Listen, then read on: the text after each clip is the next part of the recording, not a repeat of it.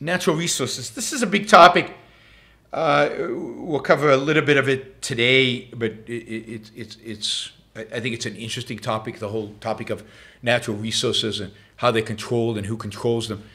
But the reality is that uh, with the advent of new technologies, primarily new technologies that are now being subsidized by governments like clean tech, batteries, and things like that, there is a whole new class of materials, natural resources, that are now uh, come to the forefront. And in a sense, the demand for them has gone through the roof. Uh, uh, things like natural rare material, uh, rare, sorry, rare earth materials, or copper, nickel, cobalt, lithium, graphite. All of these, uh, uh, you know, are materials that are necessary for the new technologies and are going to be necessary even more in the future as everything becomes electronic, tech related. Uh, we're going to require more and more and more uh, of these materials. Uh, as it happens, uh, you know, China is uh, it controls, mines, and refines many of these materials. Uh, it has a it has a big percentage of the world's supply of rare earths, somewhere close to uh, 85 to 90 percent of those, uh, both in terms of mining and refining. And now we know that there are reserves in other countries. When it comes to graphite, China has almost complete, almost 100 percent. Lithium, it's somewhere closer to 60 percent. So substantial. Uh, cobalt, close to 70%, over 70%. Nickel, copper, not quite as much, but still a dominant position. And then, of course, again, that's that's uh, um, that is China. But then, if you look at the top three processes of any one of these materials, they dominate. Lithium, graphite, rare earth. It's basically 100% in three countries a lot of countries are now uh, recognizing this and stopping the exploitation of these materials. Not clear why. I mean, the whole point of this is to export them. But uh, fundamentally, uh, you know, China is going to start using this for geopolitical means.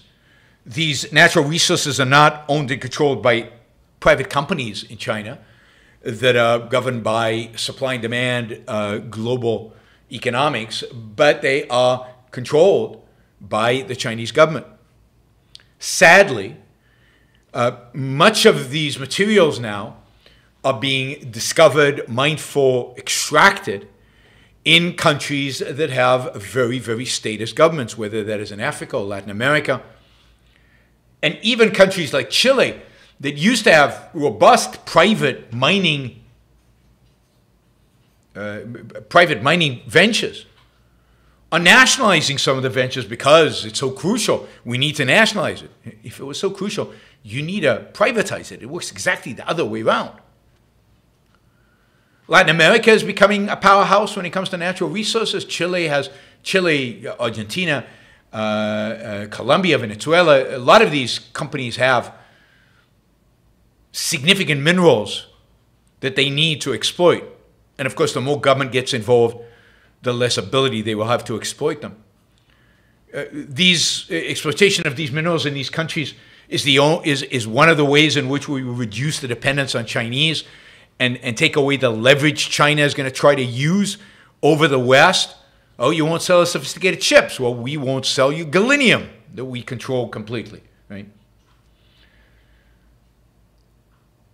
But in order to facilitate this, we need a robust market. We need privatization.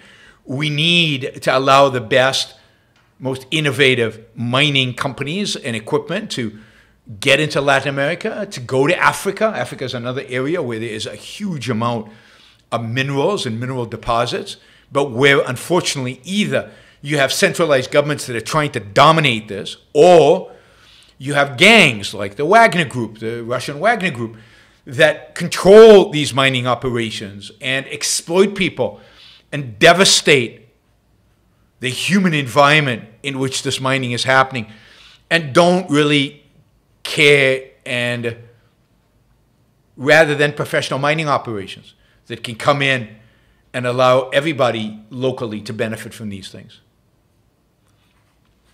So uh, the world is becoming more and more and more dependent, if you will, on uh, natural resources that come from Africa, Latin America, and, and China. Now, this is, of course, not new. This is reminiscent of the fact that we've been dependent or were dependent for decades and decades on natural resources from Saudi Arabia and Iran and Iraq and Kuwait, oil. You think we would have learned from that. One is to invest in our own capacity to produce natural resources in, at home. We'll get to that in a minute. But second, to encourage these countries to edu- try to educate these countries, to try to convince these countries uh, to privatize these markets, to allow for, for private companies to come in and extract these resources and exploit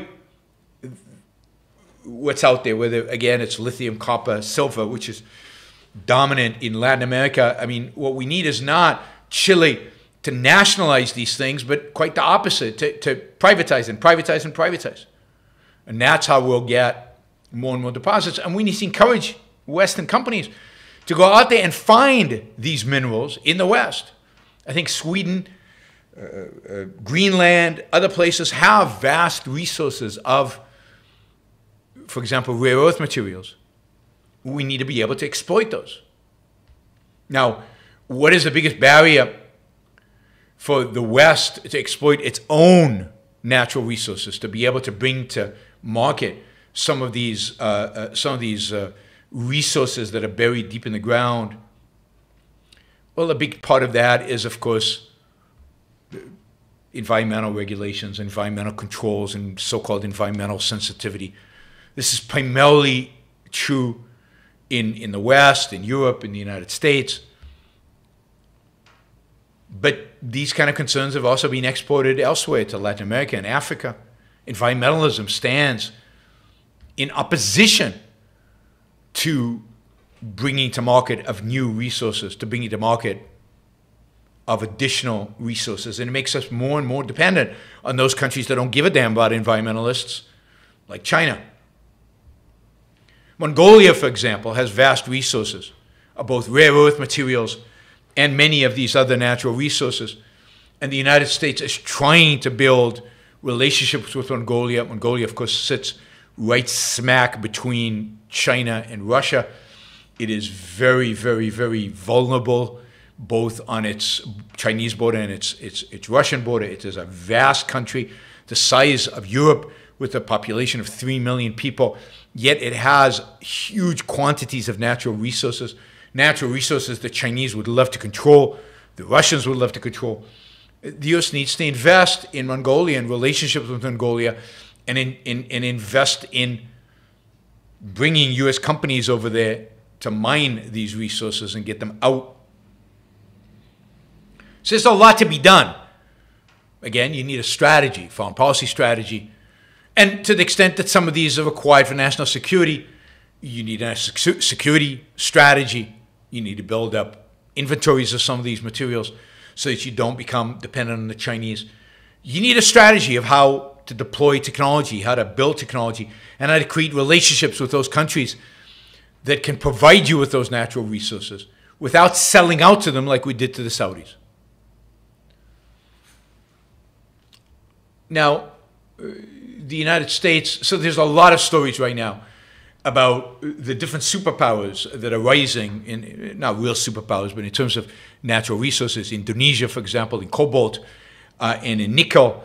Uh, you know, Chile and Argentina have lithium, and so on. So these these countries, and again, the importance of bringing market forces, market technology, market ability to these countries and, and to these industries, and and uh, so that so that we can. Uh, um, you know, get them cheaply and effectively. The United States is doing its part to uh, increase the availability of natural resources in uh, in the world. Uh, Biden has uh, just created a new national monument near the Grand Canyon. He's taken about a million acres, one million acres, and basically uh, uh, permanently banned new uranium mining in the area, and who knows what else could have been mined in the area, um, and giving it over to uh, I don't know the, some uh, the Hopi, Hopi tribe, the Hopi tribe, which I'm sure this is.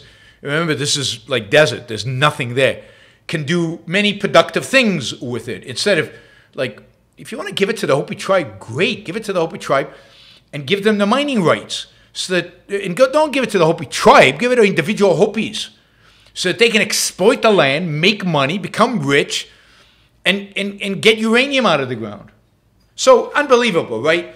Uh, uranium, uh, an essential material if we're going to move to nuclear power.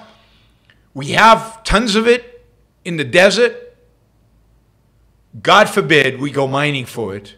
Instead, we're going to make it into a national monument. This is, this is the, um, um, yeah, let's, we, we face a crisis. We become depend, more and more dependent on other countries, even hostile countries.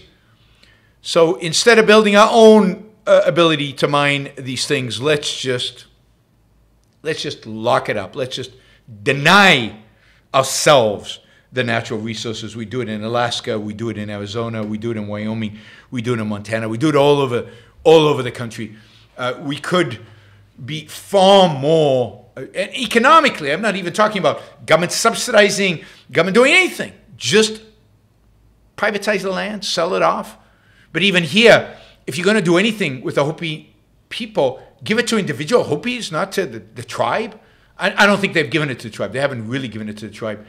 They're just making it a national monument. So basically, we're turning more and more of the country into nature untouched by man. Not a good move if you care about the human environment.